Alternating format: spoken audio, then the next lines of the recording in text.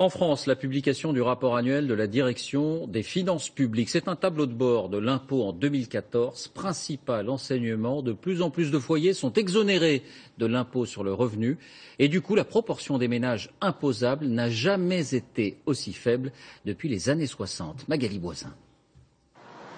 De moins en moins de Français soumis à l'impôt. L'an dernier, 47,5% des contribuables ont reçu un avis d'imposition. En clair, moins d'un foyer sur deux en France paie aujourd'hui l'impôt sur le revenu. Pour retrouver un niveau aussi bas, il faut remonter au milieu des années 60.